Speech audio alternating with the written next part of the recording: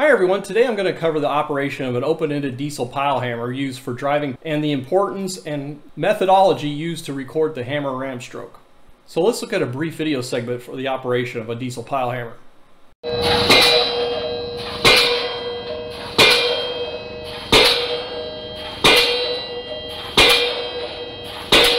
My name is Casey Jones. I have professional registration in both engineering and geology, and I've worked as a professional for over 36 years. I run my own consulting firm for deep foundation testing. Now this is what we're talking about, an open-ended diesel hammer. And these figures come from Kansas DOT's Bridge Construction Manual for Pile Driving. It's an excellent resource. I've got a link in the description to this video to this manual. So we can see here, this is a cutaway view of the ram, the, the, the piston that operates inside the housing for this hammer. Now this is the extension above the top of the hammer. So keep in mind that the ram has to travel usually a distance of around three and a half, four feet before it's exposed above the top of this extension on the housing. I've had people think that, oh, they see one foot of ram sticking out and it's a one foot stroke. No, that's actually more like four and a half feet. But at any rate, this end's open to the atmosphere. You have fuel injectors and air inlet ports down here. Now here's a view of the firing sequence. You start out by using a mechanical trip mechanism. It's lowered down on cables on the leads. It engages with the ram. It's hoisted up. Fresh air is brought into the, the chamber here. It's called the bounce chamber. Then it releases the top of its position. It trips the mechanism. The ram free falls, compresses the air and fuel, and explodes, which imparts a force to the anvil, which is connected to the helmet, which rests on the top of the hammer. So according to Newton, every action has an equal and opposite reaction. So you have a downward operating force imparted to the pile, and the opposite reaction is the ram is flung upwards inside the cylinder for the hammer. And it'll continue to travel until velocity reaches zero, at which point that's the maximum height of the ram and then it free falls and repeats the process. For a typical hammer operation, you get a blow roughly every second. Now here's a video of the mechanical trip for the hammer ram.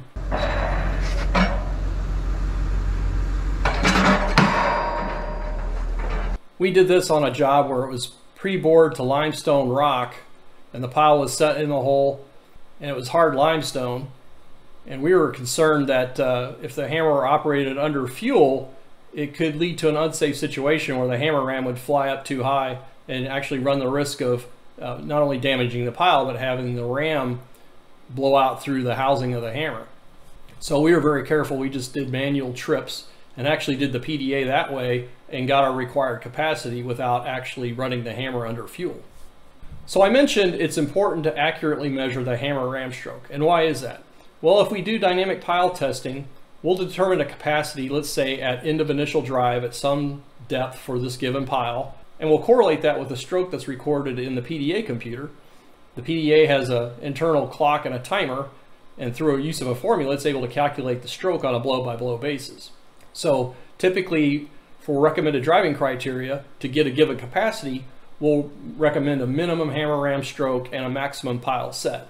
Now pile set is the penetration of the pile after some consecutive number of blows. So typically you measure the pile set or the permanent displacement as it's being driven over say five consecutive blows. So let's say an inch in five blows, that would be a set value. And then we measure the hammer ram stroke. And then when they go to install other piling that doesn't have PDA, they can get roughly an idea is the hammer operating under the same energy, is the pile providing a similar resistance to what was provided for the test pile. Now there's also instances where someone will model pile driving in the verification using wave equation analysis, and that's just a computer program. I have a video about that if you want to check it out. But uh, essentially you get a relationship between hammer ram stroke and pile set for a given set capacity. And so in that way you can verify whether you've achieved required capacity for the pile that you've driven. Now another handy way to compute the stroke is to use a formula. And again, this comes out of the KDOT construction manual for bridge foundations. So what you do is you record the time for 10 consecutive blows of the hammer ram, and you square that value, so that value in seconds squared times 0.04 will give you the stroke in feet. So this is important to do as you're driving the pile. You certainly don't want to get onto hard rock and then say, well, let's hit it 10 times to figure out what the stroke is because you could overstress the pile in that scenario and, and could lead to pile damage. So this is something you should be doing on an ongoing basis as the pile is being driven. And of course, it's actually possible to time it for a shorter period of time and apply a correction. So here's an example of a pile that we tested recently uh, doing PDA testing. And uh, I'll just let the video play for a second.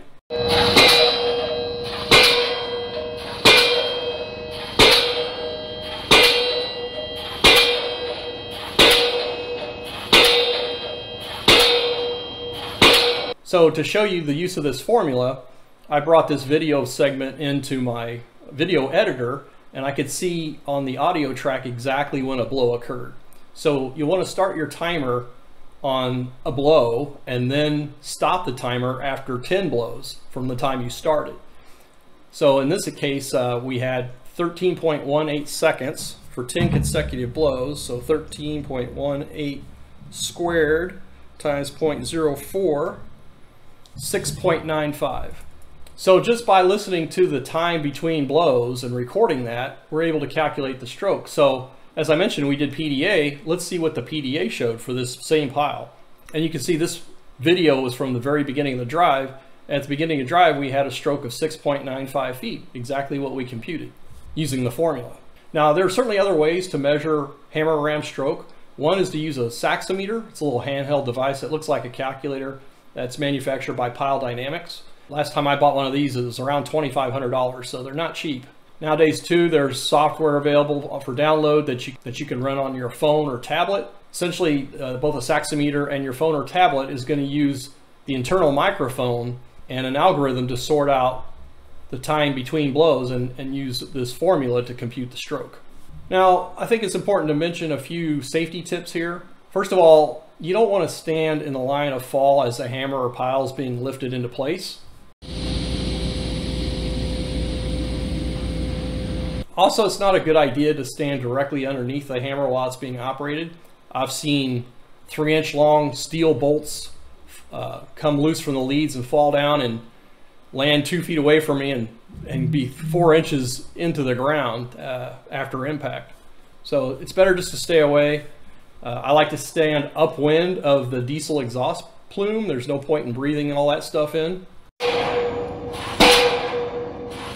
And again, don't be robotically committed to measuring the stroke over a certain number of blows because you may be in a situation where you're overstressing the pile. So again, you got to use judgment and you may have to more accurately time the number of blows after fewer than 10 blows just to compute the, the stroke on the equivalent basis. And again, you want to be careful operating the hammer if you've got short pile to hard rock either start out with no fuel or the lowest fuel setting and make sure the crew is prepared to shut the hammer off very quickly.